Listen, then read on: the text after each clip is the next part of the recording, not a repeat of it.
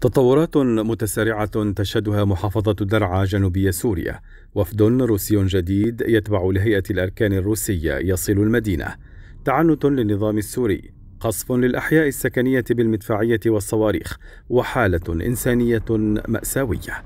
رغم كل ذلك ولا يزال المشهد هناك ضبابيا مع تعثر جولة تفاوضية جديدة بين اللجنة الأمنية والمركزية بوساطة روسية التي لم تستطع حتى اللحظة كبح العمليات العسكرية للنظام والميليشيات الإيرانية في المنطقة. حيث تشهد المحافظة منذ أكثر من شهر ونصف حملة عسكرية يقودها النظام بمشاركة عدد من قواته وعلى رأسهم الفرقة الرابعة المقربة من إيران التي يقودها ماهر الأسد شقيق بشار وعدم التزامه بأي اتفاق أو مفاوضات جرت في المدينة طوال هذه الفترة.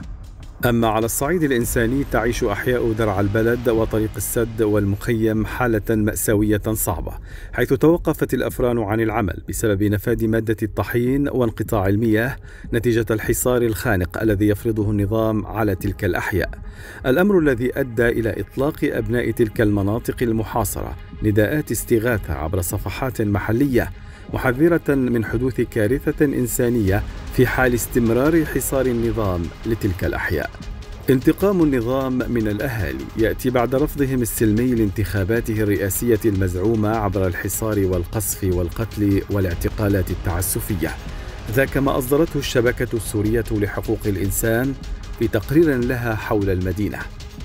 كما وثقت الشبكة الانتهاكات التي ارتكبها النظام منذ بداية الشهر السادس حتى بداية الشهر الثامن حيث سجل مقتل أحد عشر مدنيا بينهم خمسة أطفال وسيدتان واعتقال ما لا يقل عن مئة شخص ونزوح ما لا يقل عن خمسة وثلاثين ألف شخص من أحياء درع البلد وحي طريق السد ومخيم درعا وأحياء درعا المحطة. ممارسات النظام تلك يقول مراقبون إنها سياسة لطالما انتهجها منذ إعلانه الحرب على الشعب السوري.